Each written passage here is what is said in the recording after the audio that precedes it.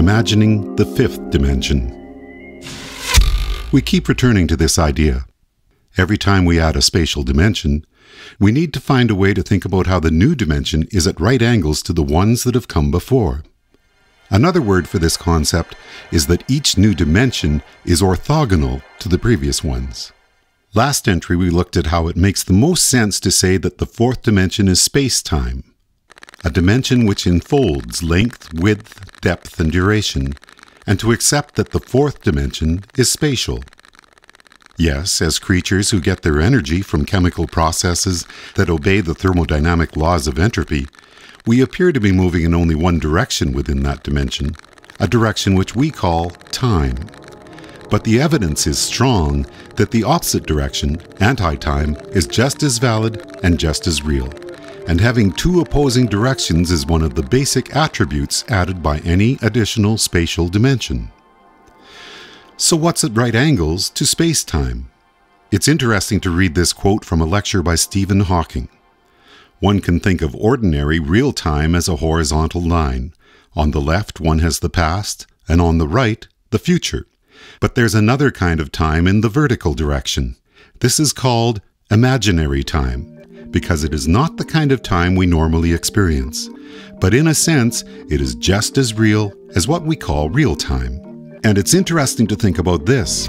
One of the central ideas to this project's approach to visualizing the extra dimensions is Everett's many worlds interpretation of quantum mechanics, which explains how every possible outcome for our universe is equally real, but as observers we can only see one of those universes at a time. According to Everett's theory of the universal wave function, the reason we can't see any of the other universes is because they exist within a subspace which is orthogonal to the ones we are observing at any particular instant. But even though Hawking has talked about another kind of time which is at right angles to our space-time, and Everett has talked about the other parallel universes being orthogonal or at right angles to the version of the universe any one of us is observing right now, Neither of them have said that these additional realms are in the fifth dimension. Why is that? Is this a failure of imagination from two of the most brilliant minds of the 20th century? Or is this a free will discussion? This is where my project's line branch fold concept for imagining dimensions becomes particularly useful. The fifth dimension, by virtue of being at right angles to all of the dimensions that have come before, gives us a way to get to those other connections of the quantum world and Everett's many worlds that might seem unimaginable from the viewpoint of someone who believes there's nothing more than 4D space-time. In 2007, a team of scientists at Oxford under the direction of David Deutsch published a new proof equating Everett's many worlds interpretation with the probabilistic outcomes at the quantum level and the parallel universes resulting from chance and choice. And New Scientist magazine declared this to be one of the top science news stories of the year. In 2010, a team of scientists at Oxford participated in a speculative art project created by John Ardern and Anab Jain as Superflux, the fifth dimensional camera project.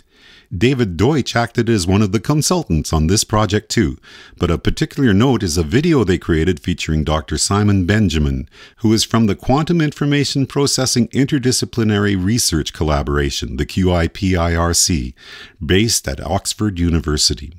Within this video, you'll see Dr. Benjamin show a diagram very similar to the ones from my project of branching timelines resulting from chance and choice, and he suggests that these are occurring at the fifth dimension.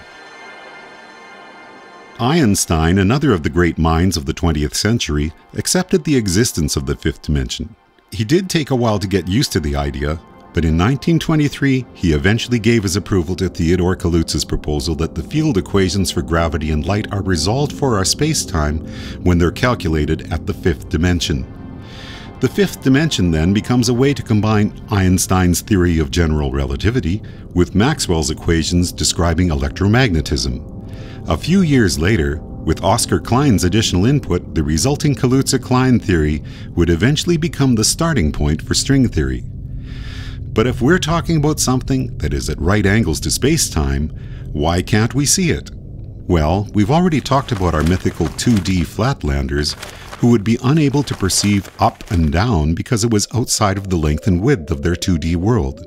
And we've also discussed that although we've been taught that the world around us is 3D, The startling fact is that the time it takes for light to travel to our eye means it's impossible for us to see the third dimension by itself.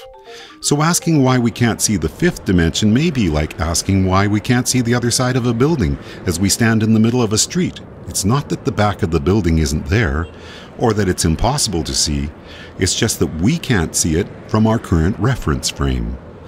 But the standard explanation for why we can't see the fifth dimension and beyond is because it's compactified or curled up at the Planck length.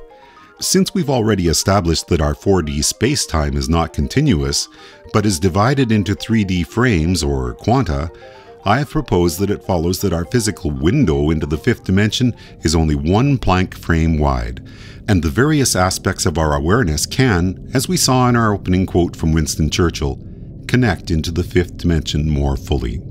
Make no mistake about it, with this project, I am insisting that we are really not in the third dimension, or even the fourth dimension. Our now is a moving point within a fifth dimensional probability space, and I believe the more that people embrace this idea, the deeper their understanding of our reality will become. The analogy often used in string theory is to think of the fifth dimension as being like a garden hose stretched out on the ground. From a distance, the hose looks like a line but up close we can see that the walls of the hose are curled up on themselves, so that if an ant were to walk inside that hose, it could go from one end to the other, the straight line of the fourth dimension, but be moving in a second dimension as well as the first. In my Imagining the Tenth Dimension animation, I showed a Mobius strip and asked people to think about how a flatlander moving on this strip would feel like they were traveling in a straight line, but in reality they would be twisting and turning in the dimension above. This is useful as a way to think about the fifth dimension, but the garden hose analogy adds one further wrinkle. What if a fly were to enter our hose? Unlike the ant, the fly would be able to travel not just in a second dimension, but a third. So if our hose were 4D space-time, the ant would be moving in the fifth dimension, and the fly would be moving in the sixth. You and I, it appears, are ants rather than flies. But next entry we'll talk about how that's a good thing, as we move on to imagining the sixth dimension. Before we finish, though, I want to mention one final thing. I was thrilled to read recently that well known physicists Leonard Susskind and Raphael Bousso have published a proof equating the branching probabilistic outcomes of Everett's many worlds with the string theory multiverse. I'd like to give you a link to Sean Carroll's blog entry about the new proof, and also here's a link that was published at arXiv.org. And while we're looking at links, here's a Discovery Channel blog entry about a new theory analyzing black holes from the perspective of the compactified fifth dimension we've been talking about in today's entry.